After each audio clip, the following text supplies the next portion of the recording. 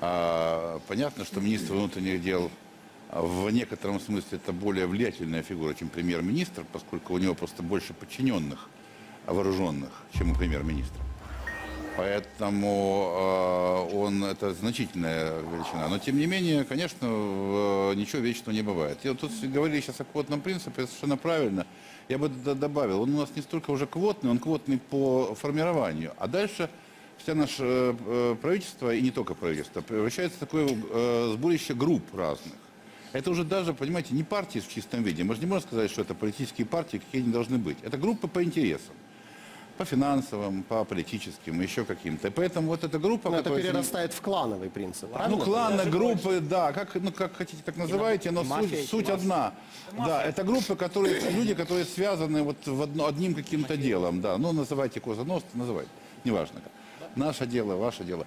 Но дело в том, что это, это действительно проблема, потому что э, вот они очень озабочены именно этим, сохранением группы. Вот как бы, с- про Радиевку сегодня говорили, вот как, по идее, долж- зная опыт в Радиевке и всех остальных, как должно было действовать МВД?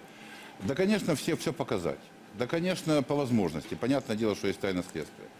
Конечно, быть каждый день выходить на брифинги. Конечно, быть предельно открытыми. Конечно, тех людей, которые, э, которые э, не прикрывая никого, даже если это свои, это не важно, свой, не свой. Э, Вы должны показать, что, ребята, мы заинтересованы в том, чтобы раскрыть преступление как можно быстрее. И тогда, а, независимо от того, еще раз, кто к какой группе относится, тогда бы люди поверили.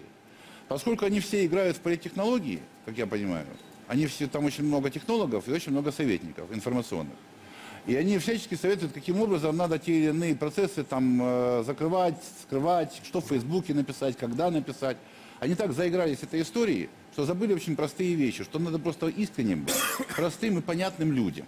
И тогда люди потянутся.